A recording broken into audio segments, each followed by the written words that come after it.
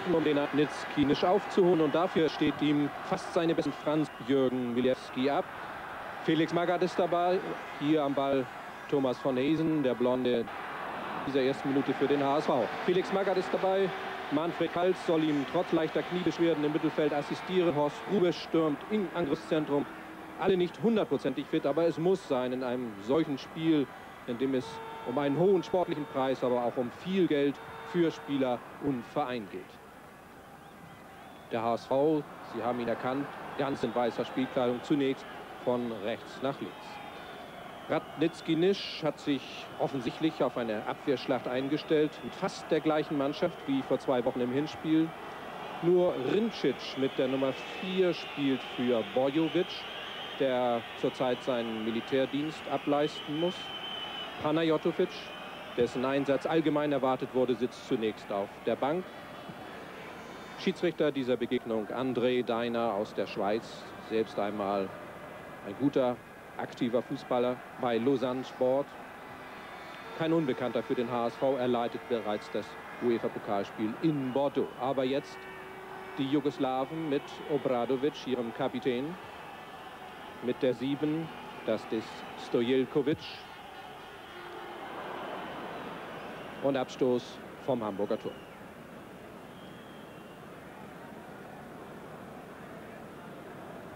Stojelkovic mit der 7 zweifellos bester Angreifer von Radnitzki Nisch. Zumindest war er dies im Hinspiel. Drippelstark, schnell. Auf ihn muss der HSV in dieser Begegnung besonders achten.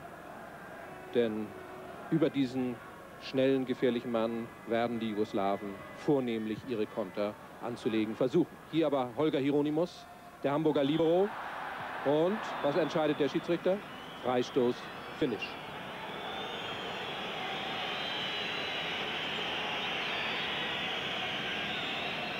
Mit der 8 Thomas von Hesen. Zuletzt recht gut herausgekommen beim Hamburger Sportverein. Torschütze im Hinspiel in Nisch.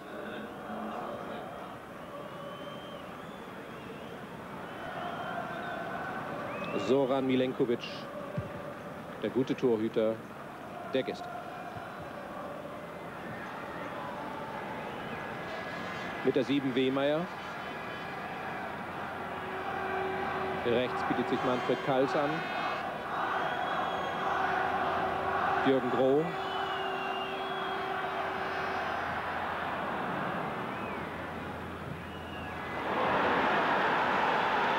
Ja, und das sind diese Konter, auf die der HSV achten muss. Zwei gegen drei. Gut gestoppt, fair gestoppt, vor allem von Hieronymus. Und gleich ein Fehlpass hinterher. Gavrilovic.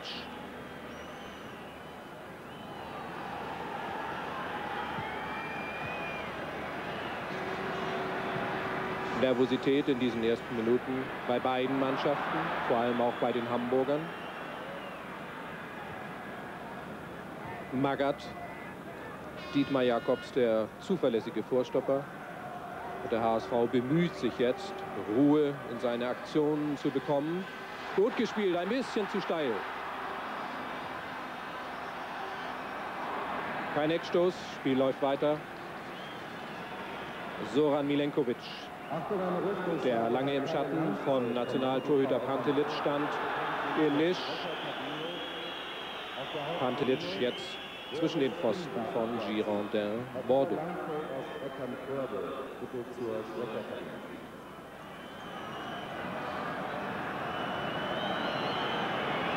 Ein Jugoslawe verletzt am Boden nach diesem Zweikampf. Offensichtlich Vojinovic, der Libero mit der 5.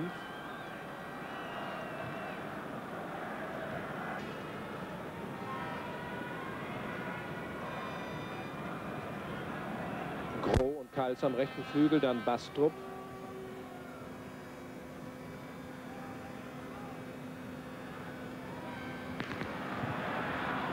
Hieronymus häufig immer in Griff zu finden, genauso wie Wehmeier, Rubesch, Von Hesen. Angriff muss neu aufgebaut werden über Kals, dann über Groh. Noch einmal Hartig. Ja, torgefährlich ist er, das muss man ihm lassen. Wenn ihm, wenn ihm auch in den letzten zwei, drei Begegnungen kein Treffer gelungen ist, auf Jimmy Hartwig muss man immer achten, vor allem auf seine Kopfballstärke. Sie sehen es eine Viertelstunde gespielt, 1 zu 0 Führung für den Hamburger Sportverein. Und mich wundert eigentlich, wie häufig die Angreifer des HSV bisher an die hohen Flanken herankommen, denn im Abwehrzentrum von Radnitzki Nisch stehen mit Drisic und Wojinovic immerhin zwei hochaufgeschossene Spieler. Drisic, der Bewacher von Rubesch, misst immerhin 1,92 und der Libero 1,87.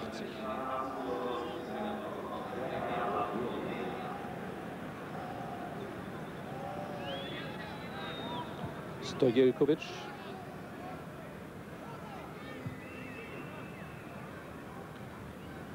Alexic ist das mit der 10 bisher wenig in Erscheinung getreten, genauso wenig wie Obradovic. Einwurf für den HSV.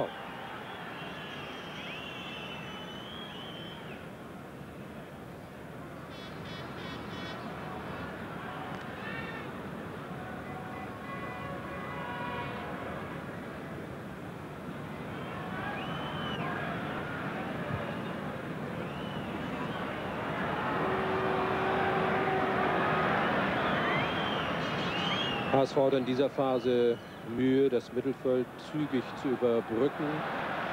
Jetzt ist es ihm gelungen mit Hieronymus. Und wieder die Flanke auf Bastrop.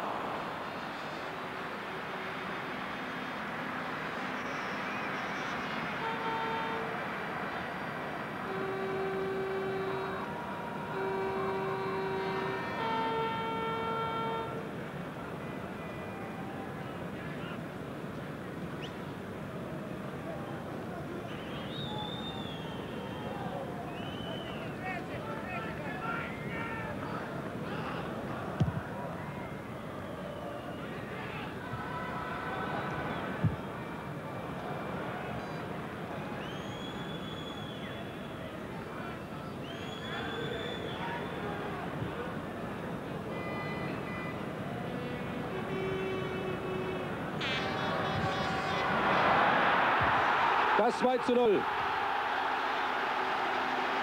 Thomas von Hesen, genauso erfolgreich wie schon im ersten Spiel in Nisch. In der vergangenen Woche noch beim Junioren-Länderspiel ebenfalls Torschütze zum 1 zu 1. Und hier Rubisch eng markiert, Thomas von Hesen, völlig freie Bahn. Das 2 zu 0 für den HSV. Knapp 20 Minuten gespielt, schon eine Vorentscheidung. Warten wir es ab der HSV jetzt doch deutlich überlegen. Von Hesen.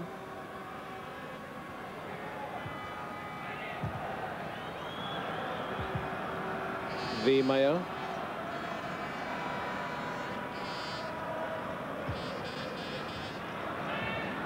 Jugoslawen jetzt mit sieben, acht Spielern im und am eigenen Strafraum. Alexic, dann Stojilkovic, zwei gegen zwei. Muss an Holger Hieronymus vorbei, schafft es. Etwas zu weit abgesetzt, aber dennoch ein sehr guter Schuss. Ein sehr guter Schuss. Uli Stein zwar noch mit den Fingern am Ball, aber der Schiedsrichter entscheidet dennoch auf Abstoß. Eine gute Aktion von Stojelkovic. Hier sehen wir sie noch einmal, wie er mit einem kurzen Seitentrick vorbeigeht an Hieronymus und dann das Tor nur knapp verfehlt.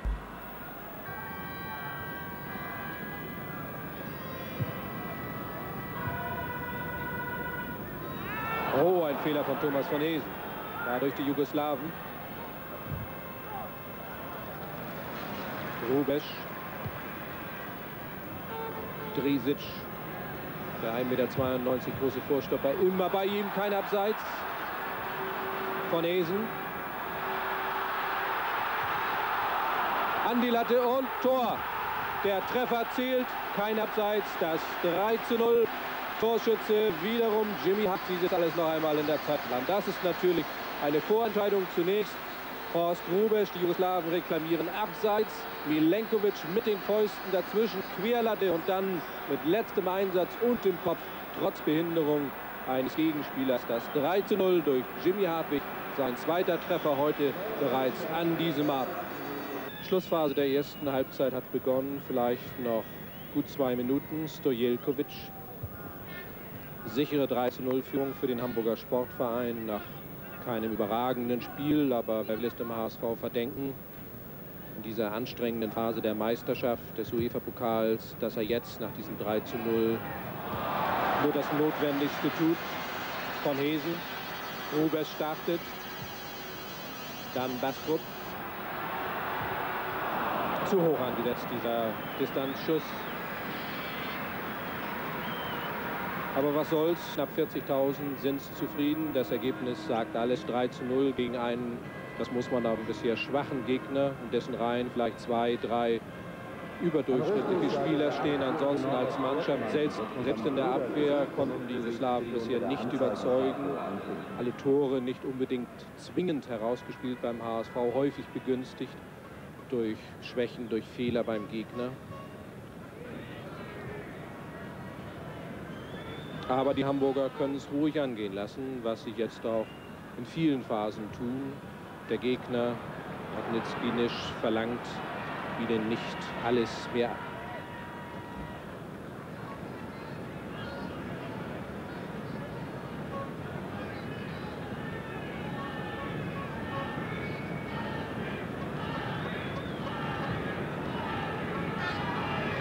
Nikolic.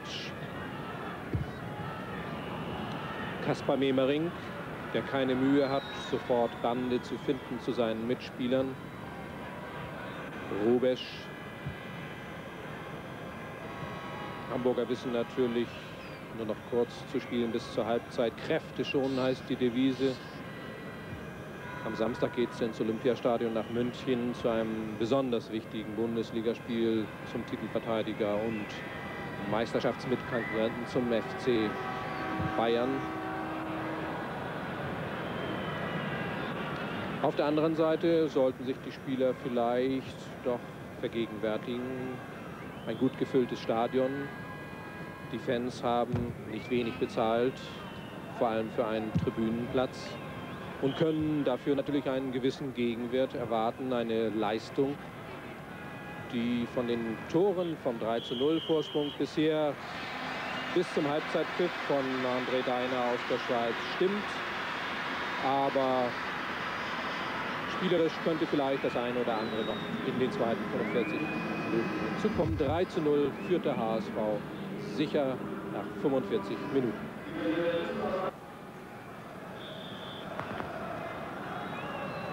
Anstoß zur zweiten Halbzeit von André Deiner aus der Schweiz. Die Jugoslawen haben ausgewechselt, haben ihren Joker gebracht. Panajotovic, der Mann, der im Hinspiel gesperrt war wegen zweier gelber Karten. Und der Mann, der mit zwei Treffern dann die United im Viertelfinale aus dem UEFA-Pokalwettbewerb herausgeschossen hat. Er soll jetzt beim Stande von 0 zu 3 aus der Sicht von Radnitzki-Nisch die Wende herbeiführen. Alexic.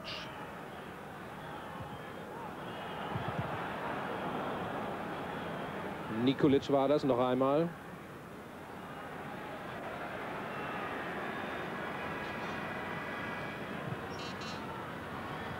Oh, ein grober Fehler von Bojinovic.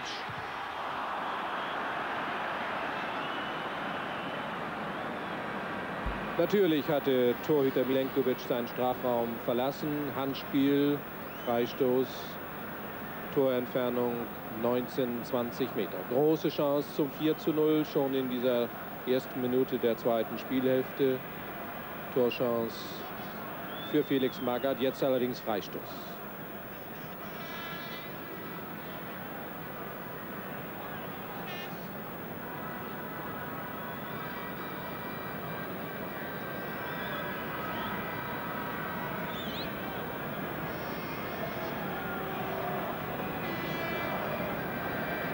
Mauer der Jugoslawen immer noch zu dicht am Ball. Der jetzt freigegeben wird.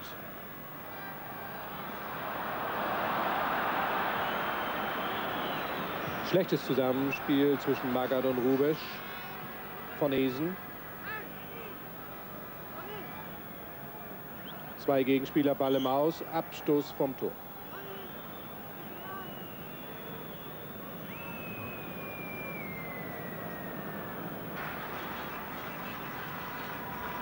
Hartwig, zweifacher Torschütze.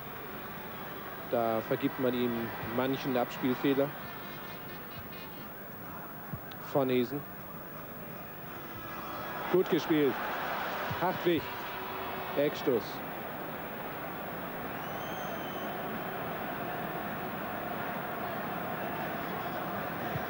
Nikolic ist das mit der 9 in der ersten Halbzeit zurückhängender Mittelstürmer jetzt mehr in der Abwehr zu finden, hat seinen Platz räumen müssen für Panajotovic.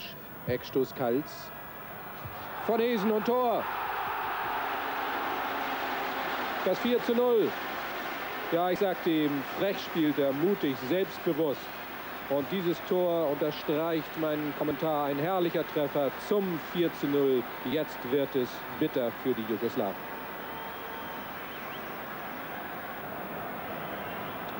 Stojilkovic nach guten Szenen in der Anfangsphase ziemlich untergetaucht, im Mittelmaß, genau wie seine Mannschaftskameraden. Aber er hat auch in dieser Szene noch einmal unterstrichen, dass er zweifellos der gefährlichste Angreifer von Radnitz Ginisch ist.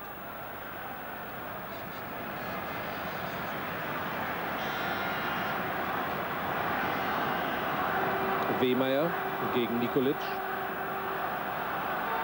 Jakobs. Schöner Pass, auch von Esen. Noch ein Trick und noch ein Schuss. Da fehlte nicht viel.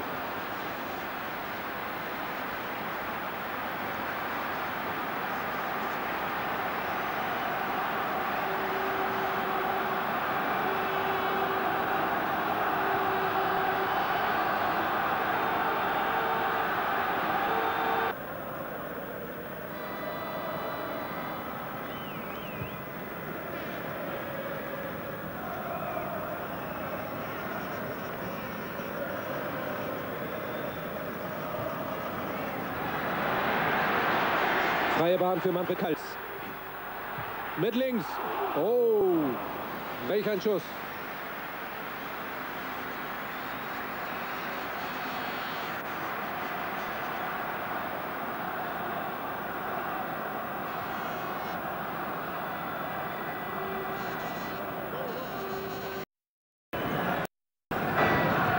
Von Hesen.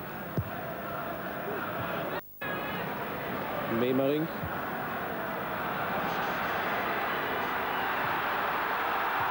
An die Latte von Hartwig. Spiel läuft weiter. Immer noch der HSV. Rubesch. Und Tor. Felix Magath ist der Schütze. Das 5 zu 0 für den Hamburger Sportverein.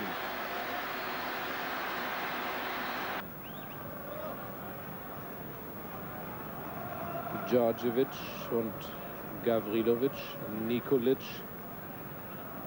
Sieht im Mittelfeld alles ganz gefällig aus, was die Jugoslawen hier vorführen. Obradovic nur am Strafraum, so wie hier bei Panajotovic. Da ist es mit der Kunst vorbei. Memerik.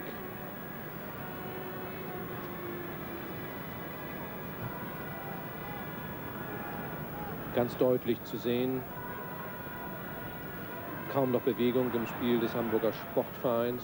Kräfte werden geschont, verständlich. Am Stande von 5 zu 0. Die beiden UEFA-Pokal-Endspiele am 5. und 19. Mai sind erreicht. Noch ein Wechsel beim Hamburger Sportverein mit der Nummer 13. Borisa Djordjevic.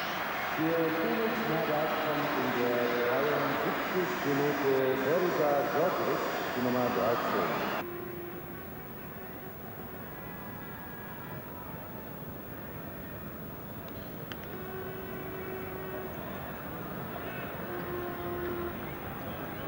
Djordjevic, kein Abseits diesmal. Sehr schön gemacht.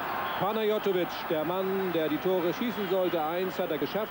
Und zwar ein sehr schönes durch die Beine mit dem Hackentrick ins lange Eck vorbei an Uli Stein. 5 zu 1 nur noch. Ein schöner Treffer.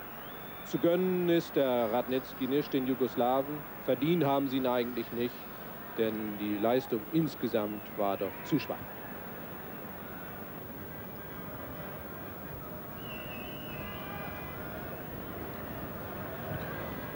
Nur noch wenige Minuten im Hamburger Volksparkstadion zu spielen. Die Partie ist natürlich lange entschieden. Der HSV führt 5 zu 1 gegen Radnitzki Nisch, hat das 1 zu 2 aus dem Hinspiel vor zwei Wochen in Jugoslawien mehr als wettgemacht, hat damit die beiden UEFA-Pokal-Endspiele am 5. und 19. Mai erreicht. Dreimal stand der HSV bisher in einem europäischen Pokal-Endspiel. Vielleicht zur Erinnerung noch einmal, wo hier die Jugoslawen mit Djordjevic eine Chance haben. 1968 in Rotterdam 0 zu 2 Verlierer gegen den AC Mailand bei den Pokalsiegern. Dann 1977 der große Amsterdam über den RSC Anderlecht und 1980 dann das unglückliche 0 zu 1 von Madrid gegen Nottingham Forest bei den Landesmeistern. Ein UEFA-Pokal-Endspiel war bisher noch nicht dabei. Dietmar Jakobs, Bastrup.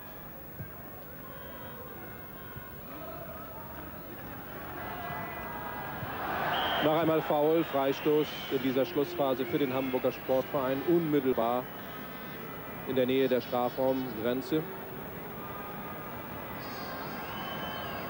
Ein deutlicher Sieg des HSV, der ihm relativ leicht gefallen ist heute gegen einen überaus schwachen Gegner dem man eigentlich gar nicht äh, zutrauen konnte, so weit in diesem Wettbewerb vorzudringen, der ja immerhin renommierte Gegner mit Neapel, mit Grasshopper Zürich, Feyenoord, Rotterdam, dann die United ausgeschaltet hat und der aber heute Abend hier in Hamburg erkennen muss, Glück für Milenkovic an die Querlatte, erkennen muss, wie weit der Weg noch bis zur europäischen Fußballklasse ist. Radnitzki Nisch in diesem Jahr lange Abstiegskandidat in Jugoslawien. Und so spielte die Mannschaft über weite Strecken heute Abend im Hamburger Volksparkstadion. HSV deutlicher Sieger, der Schlusspfiff 5 zu 1. Sie freuen sich. UEFA-Pokal-Endspiele, wie gesagt, am 5. und 19. Mai geschafft, zuerst auswärts. Die Entscheidung dann am 19. Mai hier an gleicher Stelle im Hamburger Volksparkstadion. Ein großes Ziel in dieser Saison hat der VSV fast erreicht. Einem Ziel ist er ganz nahe gekommen. In der Chronistenpflicht genügen und wir